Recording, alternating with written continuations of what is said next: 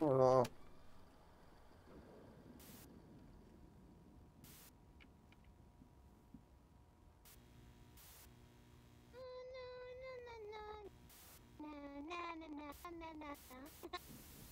Hi, I'm Amanda.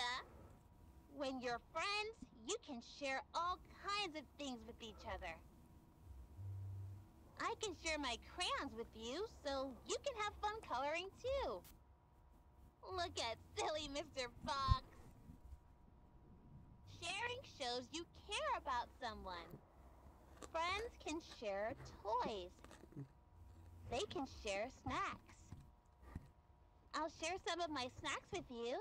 Which snack would you like? Yum, that's my favorite. Can share other things too. They can share secrets. Can I share a secret with you? Oh. I thought you were different.